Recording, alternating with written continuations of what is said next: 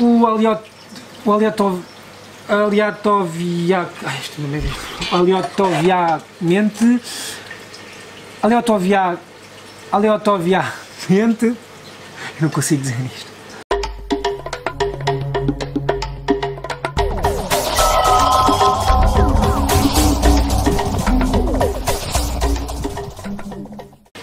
Todos, eu sou o Bruno e hoje trago-vos um vídeo super especial, é o nosso Tortuga Responde número 3. Nós apelámos no último vídeo a um Tortuga Responde e vocês fizeram as vossas questões e hoje vou fazer uma coisa um bocadinho diferente.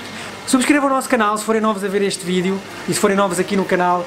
Partilhem muito os nossos vídeos e se gostarem destes vídeos de animais, se forem amantes de animais, coloquem gosto neste vídeo, que isso é muito importante porque o nosso canal vai a caminho dos 60 mil. Estamos com cerca de 56 mil subscritores. A vossa colaboração, a vossa participação, estarem a ver os vídeos todos até ao final é muito importante para o canal crescer e vem muito conteúdo e muitas novidades, muitas novidades para o verão.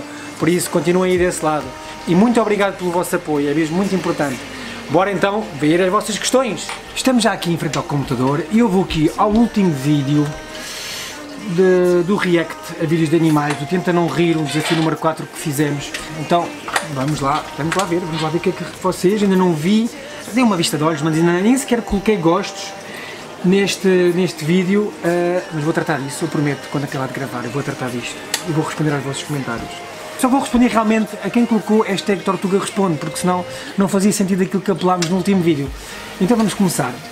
Maulipal Gamer perguntou Eu gostaria de saber se está para comprar um animal aí na vossa loja e trazer para Luxemburgo. Ok. Isto é uma questão bastante pertinente e bastante interessante, eu penso que ainda não foi respondido, uh, mas a questão dos animais irem de Portugal para outro país, neste caso é um país dentro da Europa, a única coisa que têm que fazer é perguntar no país de onde, para onde querem levar o animal, neste caso o Luxemburgo, eles têm, têm também lá o Instituto da Conservação da Natureza e têm que perguntar a esse instituto se o animal que levam, se for um camaleão, uma cobra do milho, um dragão barbudo, Uh, um coelhinho, porque cada país tem a sua lei própria, cada Instituto da Conservação da Natureza nesse país tem uma lei própria. Então convém perguntar, porque pode ser preciso alguma declaração para que vocês uh, tenham esse animal nesse país, neste caso no Luxemburgo.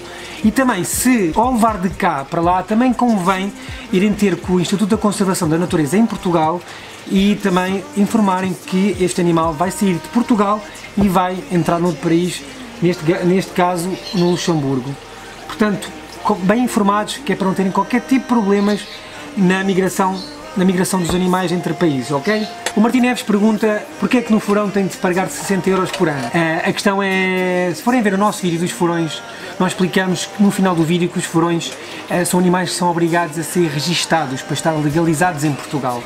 Isto nós, quando vendemos um furão, uh, passamos uma fatura, como é óbvio, e na fatura vai informação do furão de microchip e também entregamos um boletim de vacinas uh, do criador, de onde ele é originário, com toda a informação necessária para fazerem este registro do animal. Os 100 euros é aquilo que o ICNF cobra. O ICNF é o Instituto da Conservação da Natureza e Florestas cá em Portugal, que é responsável por esta parte de legalização dos animais exóticos e este é um valor que é pago anualmente, é renovado anualmente porque é uma declaração uh, legal vocês necessitam de ter. Então, anualmente, vocês têm que renovar, porque o animal, por exemplo, se ele morrer, vocês também têm que dar baixa desse registro. E se não derem baixa, o ICN pensa que ele ainda está vivo. Portanto, anualmente convém fazer esta renovação, uh, mas falem com eles, liguem para eles, que eles são muito afáveis e tiram-vos essas dúvidas todas. Também podem enviar e-mail para o sites.icnf.pt para tirar estas dúvidas pertinentes em relação às declarações e aos registros dos animais exóticos. Gonçalo Leonor, quando se faz uma encomenda com todos os materiais mais o respectivo animal, vocês vêm a entregar a casa ou têm de se levantar na loja? Nós temos uma loja online, vocês podem comprar os nossos produtos e animais através da nossa loja online. Não é, não é possível enviarmos todo o tipo de animais, mas se forem lá aos termos e condições da nossa loja online, podem ver como é que funciona Uh, e realmente é, é, fácil vocês adquirirem produtos e animais da nossa loja sem virem cá. O canal do Milo pergunta: Olá Tortuga, gosto muito do vosso canal. A minha pergunta é se tirar o curso de Biologia. Eu tirei o curso de Biologia, eu sou biólogo uh, pela Universidade de Lisboa, portanto façam o mesmo, faz o mesmo, porque se gostas muito de animais, tens muitas bases e muita matéria para aprender sobre animais uh, quando, quando se tira um curso de Biologia. Rafael Gonçalves pergunta onde fica a vossa loja. A nossa loja fica, eu vou-vos mostrar aqui um Google Maps. A nossa loja fica em Alverca do Ribatejo, nos arredores de Lisboa, junto, aqui junto mesmo, juntinho à Autostrada do Norte. É muito fácil de dar, fica a cerca, muito fácil de localizar no Google Maps, fica a cerca de 15, 20 minutos de Lisboa e uh, a urbanização onde nós estamos chama-se Urbanização Malva Rosa, é a alverca do Ribatejo. Venham-nos visitar. O outro Lourenço Almeida, fazem festas de aniversário. Olha, boa, boa ideia, boa ideia. Uh, não, não, não, fazemos festas de aniversário, mas é uma boa ideia para, para podermos fazer umas festas temáticas. O que é que vocês acham? Acham que devíamos fazer festas temáticas com animais exóticos? Comentem, façam aqui comentários a, a, a responder a este, a este, esta Tortuga Responde, é bastante interessante. Comentem se devemos fazer festas temáticas com animais exóticos, até para vocês uh, estarem envolvidos com um ambiente mais tropical, mais exótico. E temos aqui um, agora uma pergunta da Sofia Moraes. Vocês preferem qual raça, de cão ou gato? Manda um salve para o Brasil! Salve para o Brasil, meus irmãos que estão aí desse lado do Brasil! Muito bem, então, raça de cão. Olha, eu raça de cão, eu tenho, tenho, tenho três cães em casa e por acaso não, é, tenho nenhum desta raça que eu, que eu gosto mais. Uh, porque são todos cães adotados, são assim meio arrefeirados, são rafeiridos, uh, misturas de raças, portanto, mas eu adoro os meus cães. Uh, e a raça de cão que eu gosto mais não é muito conhecida, mas é uma raça chamada Leão da Rodésia. São cães brutais porque são cães que são originários das tribos africanas para defender eh, as, as pequenas aldeias de animais selvagens e não só. São cães tipo cães de guarda e foram realmente criados e, e são originários das tribos africanas.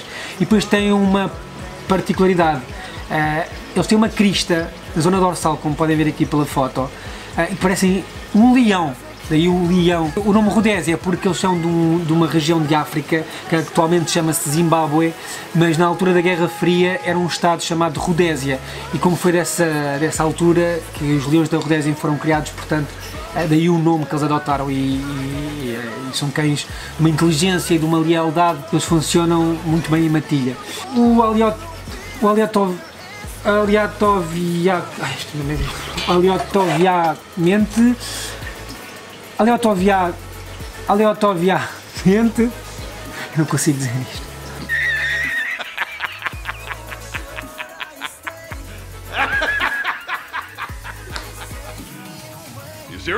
Pergunta, quais as condições para se poder manter um suricata? Não percam o vídeo dos suricatas muito brevemente no nosso canal.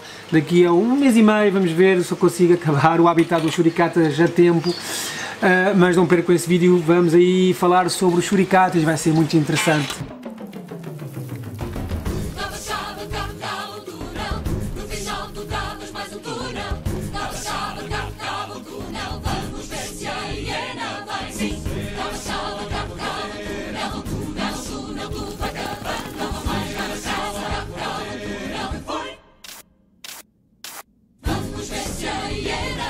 R Tuga Games, já pensaram em abrir uma loja noutro local, como por exemplo Aveiro? Needs Tortuga.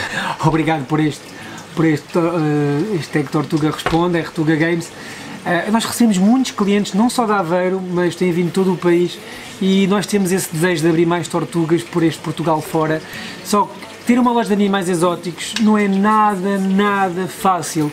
Uh, vocês não imaginam quanto implica a nível de, de dinheiro uh, ter estas instalações para ter animais exóticos e a manutenção que isto requer diariamente, uh, porque nós todos os dias temos muita coisa aqui a consumir. São os animais a comer, são as instalações dos animais para ser limpas, é a energia, é a água, é a própria manutenção da loja, é as despesas que a loja, a loja dá. E a loja já é mais ou menos grande, já precisávamos de uma loja maior, mas pronto, por agora, nós tínhamos esse desejo de realmente abrir mais tortugas por esse Portugal fora, mas não é nada fácil ir para um projeto desses. Mas nunca sabe o que é que o futuro nos reserva. Eu espero que tenham gostado. São questões pertinentes, algumas até foram repetidas do, dos últimos Tortuga Responde.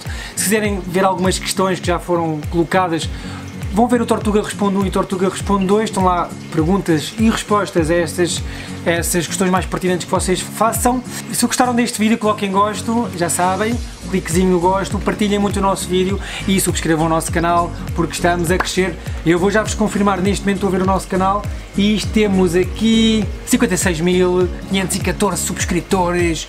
Estamos quase a chegar aos 57, estamos a meio, a meio caminho, a meio caminho, estamos quase lá. Muito obrigado por estarem desse lado a ver o vídeo. Até à próxima, fiquem bem, já sabem, tratem bem dos vossos animais, não só exóticos, todos os animais. Tchau, tchau pessoal, até à próxima.